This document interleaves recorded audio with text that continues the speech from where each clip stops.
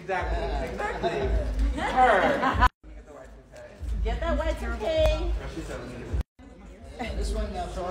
I'm chilling with Rihanna, and I have some questions for her about Fenty Beauty. What is your favorite Fenty Beauty product? Gloss Bomb OG. What is the most underrated Fenty Beauty product? Match Stix, the contour sticks. What should we maybe expect from Fenty Beauty this year? Oh my god, tons of surprises and new products, but I can't tell y'all. Not to do with Fenty Beauty, but what is the song you've come out with that you're most proud of? Oh my god, that's hard. Quick! Work. the people want to know when the album is, but I have a better question. what song are you most proud of that you've come out with? Oh, shit. My favorite song is Unfaithful. Most proud of? No, that's my favorite. Love Needed Me. I also love a good diamond. You know.